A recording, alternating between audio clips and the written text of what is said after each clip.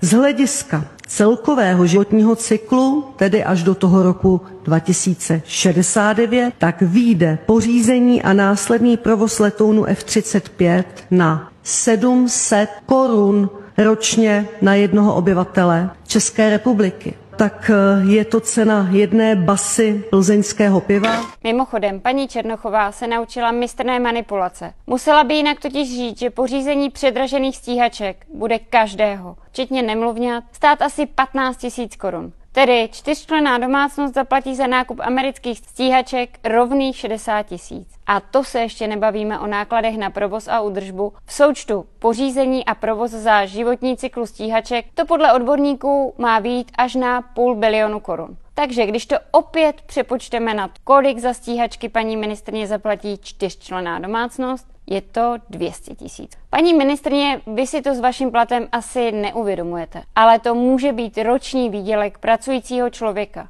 Rok bude otec nebo matka vydělávat jen na vaše stíhačky. Takže s vašimi propočty na basu plzeňského jděte do háje.